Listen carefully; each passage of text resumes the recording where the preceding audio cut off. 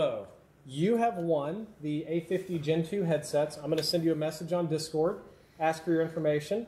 And the final giveaway for the night is the A50X headset, which is a monster. It's a beast.